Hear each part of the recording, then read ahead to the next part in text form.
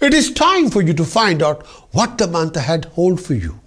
Be ahead and be informed of the coming challenges and opportunities.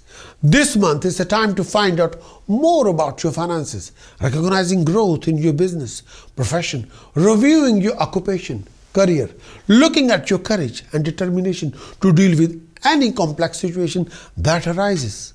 More so, find out this month's positive vibes that support you. Get to know how to change the course of things astrologically for your betterment. See yourself succeeding.